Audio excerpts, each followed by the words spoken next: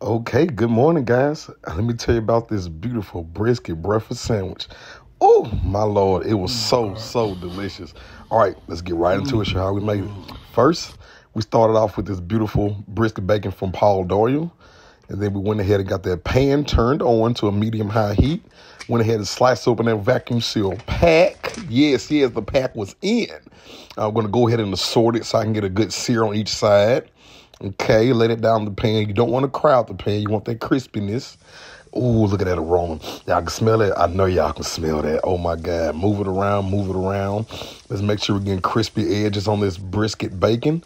All right, let's go ahead and set it to the side.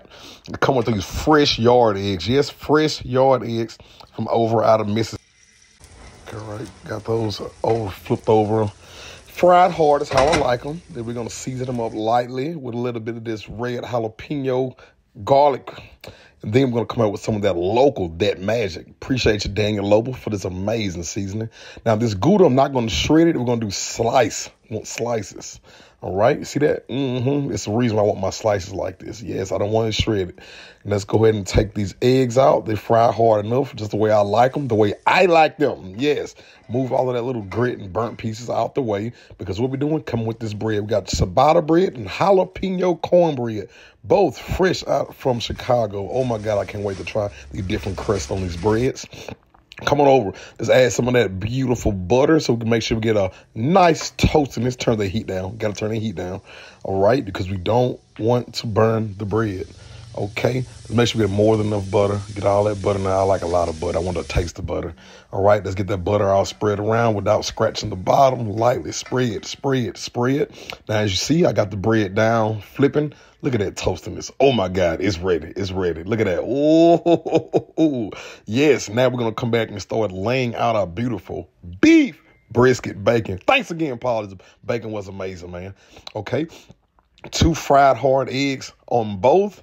Uh huh. And in between, in between, we're coming with that glue, also known as that Gouda, smoked Gouda. Yeah, yeah, yeah, yeah, yeah, yeah, yeah. Okay, now we're gonna put this in the brawler. Yeah, because we're gonna make sure this cheese melts just ooh so ooey gooey. Oh, it is ready. Let's go ahead and whip it out. What it look like? What it look like? Boo! Tell me that don't look good. No, y'all gonna look at this. Take your time. Take it in. Ah, look at it. Yes, yes, yes, yes, sir. All right, know what? I want to go ahead and add a little bit of pepper and onion, just a little bit, give it a little more natural seasoning. Okay, got my onion now. I'm going to julienne the onion very little bit. We need a lot. I don't want to take away too much from the real flavors and to go ahead and top that in the pan with that same heat. Let's shake that around, get those cooked down to the tender and fragrant. Yeah, right when you start to smell them, that's when you know it's ready. I came back added a little butter. Now let's take this off and let's finally, let's finally, finally get this thing assembled. Assemble! Yes, yes, yes. I don't know which one I want better. The corn jalapeno cornbread bread or the ciabatta, because the ciabatta's so soft, but the other's so crispy on those edges. I've oh, got to pull out my hiya knife, knife. Oh, yep, let's get a nice clean cut. See, I usually cut like this when we're going with thick bread, but hey, I went ahead and hooked it on up just like this. And that's the final product, guys.